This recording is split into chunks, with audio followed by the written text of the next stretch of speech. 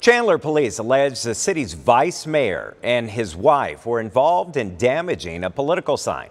According to police report, O.D. Harris and his wife Elizabeth Ward were responsible for damage to a political sign in opposition of the vice mayor's reelection. And according to that report, there is video of the incident.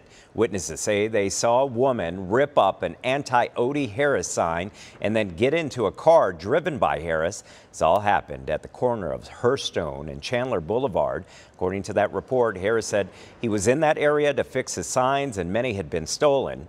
Also, according to that report, Harris told investigators he isn't sure if the person uh, in that video was his wife because he couldn't see the woman's face. Scottsdale prosecutors now reviewing that case for possible criminal charges. We reached out to Harris and his wife. Uh, Harris said he had no comment.